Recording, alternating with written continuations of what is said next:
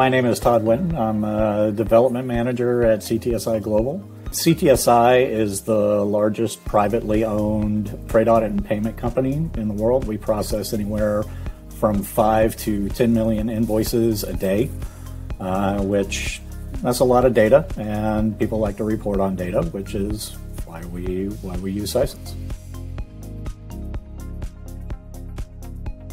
In early to mid uh, 2020, we identified that we needed to make a decision concerning either internal hardware or moving to the cloud. Sisense at that time was using almost an entire host with our provider, and adding an additional host would greatly increase how much we were spending. And I was spending a lot of time managing that infrastructure we were able to do a cost benefit analysis going to cloud versus getting another host, and cloud was the way to go.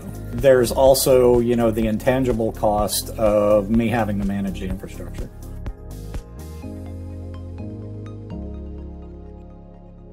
You know, there are inherent limitations running on-prem with a number of builds. And, and, then as we were playing with the uh, test environment, we were able to get anywhere from 8 to 10 concurrent builds and without any problem. And I'm not having to worry about the infrastructure. I would say I've probably got given myself back anywhere from 5 to 10 hours a week.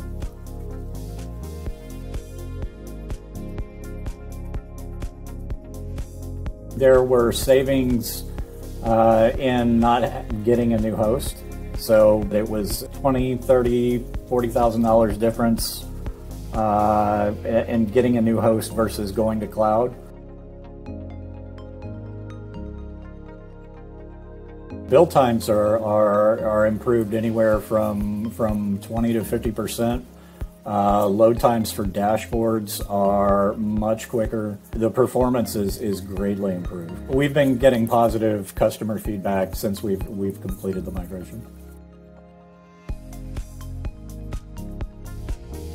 The support team has been great. We provided all our information up front, and for the most part, um, they they imported it into the cloud environment, and it worked.